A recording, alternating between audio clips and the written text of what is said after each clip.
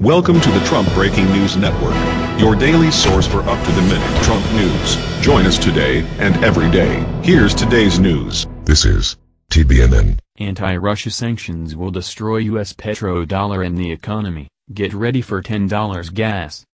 Tuesday morning, Pence announced Trump is going to sign the Russian sanctions bill. This will guarantee the end of the U.S. petrodollar. By J. Syrmopoulos. Washington, D.C., the United States is on the precipice of pushing the Sino-Russo alliance closer than ever with the Senate's almost unanimous approval of the Countering America's Adversaries Through Sanctions Act. If President Trump signs the dangerous bill, it will essentially guarantee the fall of the U.S. petrodollar as the global reserve currency. Hailed by the usual warmongers in the Senate, including resident Cold Warrior John McCain, the new legislation calls for a ratcheting up of tensions with Moscow under the guise of alleged election interference. Although there has never been any evidence provided to the public in regards to election meddling, the U.S. mainstream propagandist media, in concert with the deep state, have run a consistent campaign meant to demonize and connect Trump, Russia. The reality is that Trump ran on a platform of détente with the Russian, converse to Hillary Clinton's get tough with Russia rhetoric during the 2016 presidential campaign, thus trying to create back channels, a common move in diplomacy, to negotiate with Russia outside of the purview of the always listening U.S. spying apparatus. The new sanctions are meant to directly target the main strength of the Russian economy, the energy sector, in an effort to compel U.S. client states in Europe to abandon mutually beneficial long-term energy deals with Russia.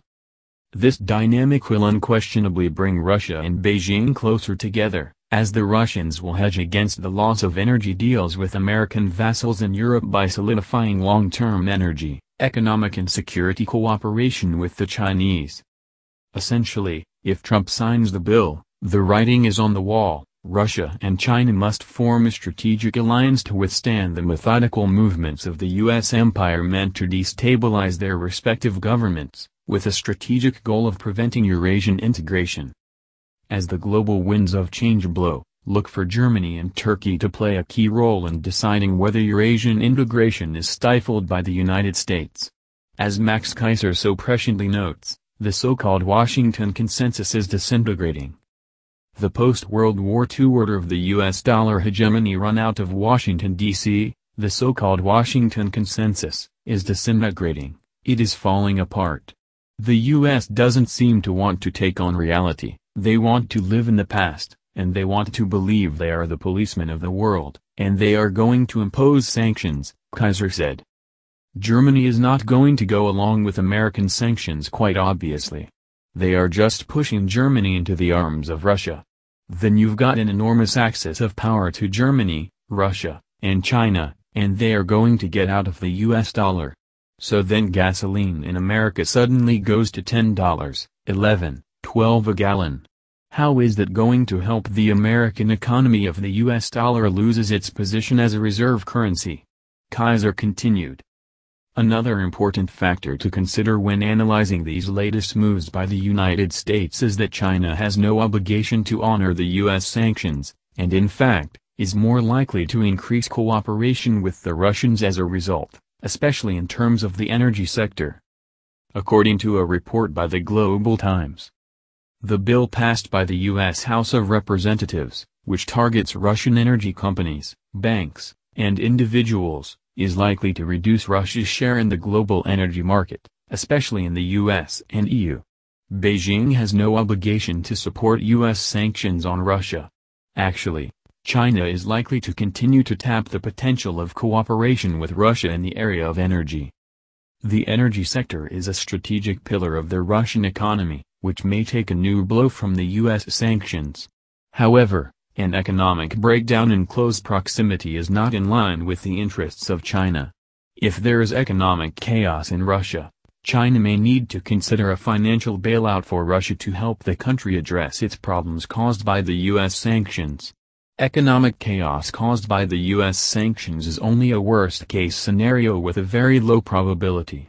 The political and economic realities of a multipolar world have reduced U.S. power over international affairs. The most likely outcome is that Russia will remain a superpower whose overall influence may wane but is never genuinely challenged. And perhaps most telling of all is the fact that attempting to cut Russia's energy sector off from the Allied West will likely only expand the currency swap between the ruble and the yuan. The recent formation of a BRICS Gold marketplace, which could be used to bypass the U.S. petrodollar in bilateral trade, continues to take shape as Russia's largest bank, state-owned Sberbank, announced in mid-July that its Swiss subsidiary had begun trading in gold on the Shanghai Gold Exchange. Russian officials have repeatedly signaled that they plan to conduct transactions with China using gold as a means of marginalizing the power of the dollar in bilateral trade between the geopolitically powerful nations. This latest movement is quite simply the manifestation of a larger geopolitical game afoot between great powers, with the currently pending sanctions almost certain to increase the pace of this transition away from the U.S. petrodollar. Furthermore, if Trump doesn't veto the legislation, you can be assured that any possibility of rapprochement with Russia is history. On top of that, Russian President Vladimir Putin said Sunday 755 U.S. diplomats will be expelled from Russia by September 1.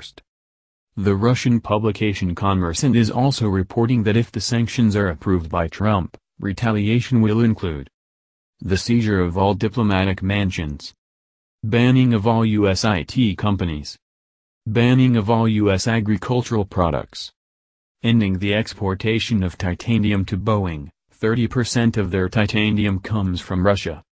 Essentially, the U.S. is forcing the Russians and Chinese into a closer strategic alliance and the latter's only means of hedging against increasingly reckless U.S. actions, meant to undermine Eurasian integration and destabilize Russia in hopes of eventual regime change, is to vastly increase the economic, energy and security cooperation between their two states.